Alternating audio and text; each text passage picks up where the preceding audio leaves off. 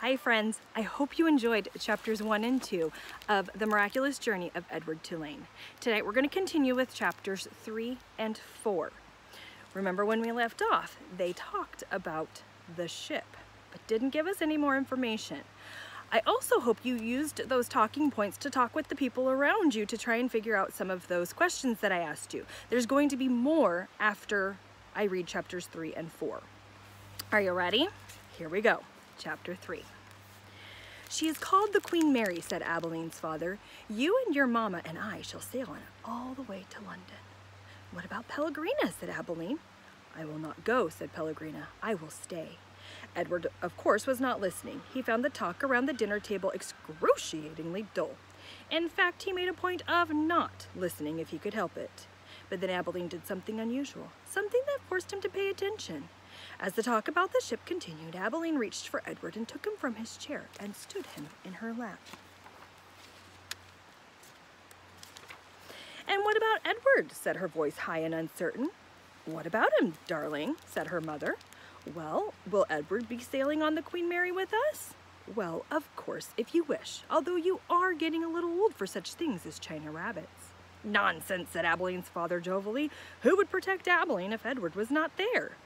From the vantage point of Abilene's lap, Edward could see the whole table spread out before him in a way that he could never when he was seated in his own chair.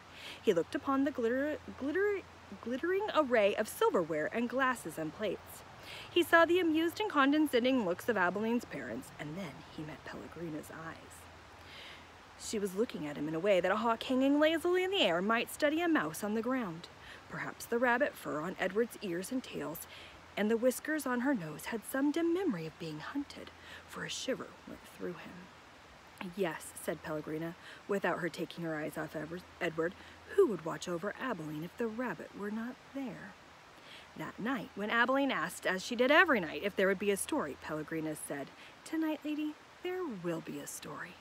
Abilene sat up in bed. I think that Edward needs to sit here with me, she said, so that he can hear the story too. I think that's best, said Pellegrina. Yes, I think the rabbit must hear the story.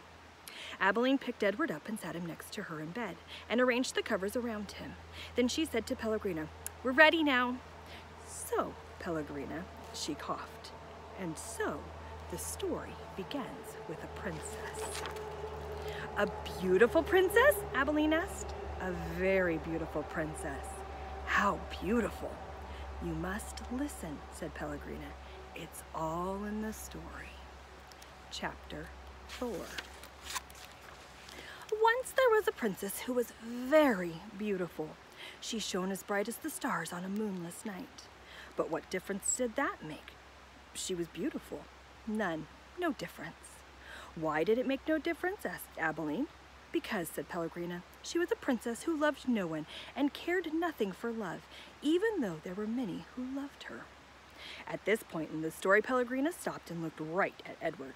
She stared deep into his painted-on eyes, and again Edward felt a shiver go through him. And so, said Pellegrina, still staring at Edward, what happened to the princess, said Abilene. And so, said Pellegrina, turning back to Abilene. The king, her father, said that the princess must marry, and soon after this a prince came from a neighboring kingdom and he saw a princess, and immediately he loved her. He gave her a ring of pure gold. He placed it on her finger. He said these words to her, I love you, but do you know what the princess did? Abilene shook her head. She swallowed the ring. She took it from her finger and swallowed it. She said, this is what I think of love. And she ran from the prince. She left the castle and went deep into the woods. And so, and so what, said Abilene. What happened then? And so the princess became lost in the woods. She wandered for many days. Finally, she came to a little hut and she knocked on the door. She said, let me in, I'm cold. There was no answer. She knocked again. She said, let me in, I'm hungry. A terrible voice answered her. The voice said, enter if you must. The beautiful princess entered, and she saw a witch sitting at the table, counting pieces of gold. 3,622, said the witch. I'm lost, said the beautiful princess. What of it, said the witch. 3,623.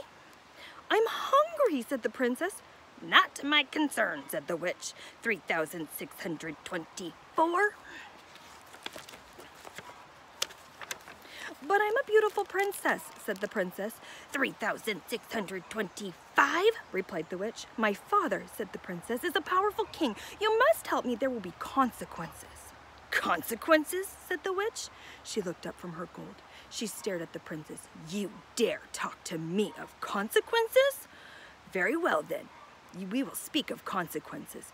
Tell me the name of the one you love. Love? said the princess. She stamped her foot. Why must everyone speak of love? Whom do you love? said the witch. You must tell me the name. I love no one, said the princess proudly. You disappoint me, said the witch. She raised her hand and said one word, Farthfiggery! And the beautiful princess was changed into a warthog. What have you done to me? squealed the princess. Talk to me of consequences now, will you? said the witch, and she went back to counting her pieces of gold. Three thousand six hundred twenty-six, said the witch, as the warthog princess ran from the hut and out again into the forest. The king's men were in the forest too, and what were they looking for? A beautiful princess. And so when they came upon an ugly warthog, they shot him immediately. Pow! No, said Abilene. Yes, said Pellegrina. The men took the warthog back to the castle, and the cook slit open its belly, and inside it she found the ring of pure gold. There were many hungry people in the castle that night, and all of them were waiting to be fed. So the cook put the ring on her finger and finished butchering the warthog. And the ring that the beautiful princess had swallowed shone in the cook's hand as she did the work. The end. The end? said Abilene indignantly. Yes, said Pellegrina, the end. But it can't be. Why can't it be? Because it came too quickly. Because no one's living happy, happily ever after. That's why. Ah, and so, Pellegrina nodded. She was quiet for a moment. But answer me this. How can a story end happily if there is no love? But, well, it's late and you must go to sleep. Pellegrina took Edward from Abilene. She put him in his bed and pulled the sheet up to his whiskers. She leaned close to him. She whispered, disappoint me. After the old lady left, Edward lay in, a in his small bed and stared up at the ceiling. The story he thought had been pointless. But then most stories were. He thought of the princess and how she'd become a warthog. How gruesome! How grotesque! What a terrible fate!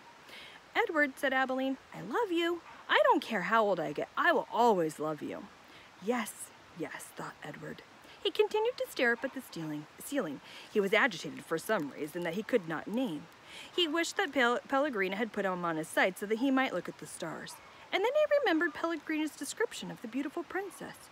She shone as bright as the stars on a moonless night. For some reason, Edward found comfort in those words, and he repeated them to himself, as bright as the stars on a moonless night as bright as the stars on a moonless night, over and over until at last the first light of dawn appeared.